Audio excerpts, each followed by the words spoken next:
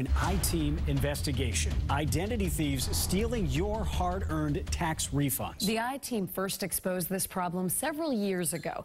Now the IRS is announcing changes to protect your money. The I-Team's Ryan Kath takes a closer look at whether this will be enough. The I-Team introduced you to Kevin Johns in 2013 after identity thieves stole his tax refund not once, but twice. I needed that money. I had to actually take a loan from a family member. The IRS lost an estimated $5.8 billion in identity theft cases in 2013. Here's what happens. A crook steals the personal identity of an honest taxpayer and files the return first. Then the IRS unknowingly sends the refund to the wrong person. I'm thinking, what's going on here?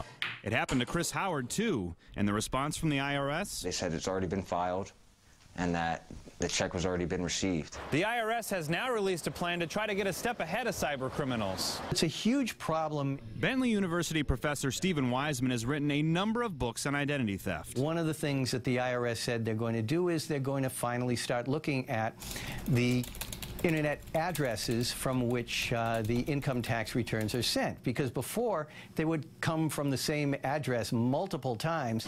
Likewise, the feds will take a look at where they're sending the checks to make sure one address isn't receiving a large number of refunds. Weisman is happy the IRS admits it can't fight this alone. One of the big ones is cooperating with individual tax preparers, tax preparing companies, and corporate America. This is very significant because one of the things we have not had, and with all of the issues of data breaches and identity theft, is cooperation. Where do you still see holes?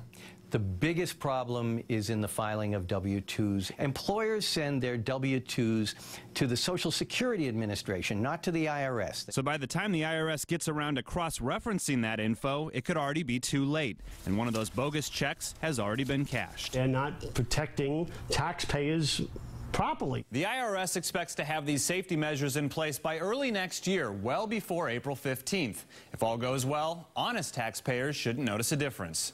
For the I-Team, Ryan Kath, WBZ News.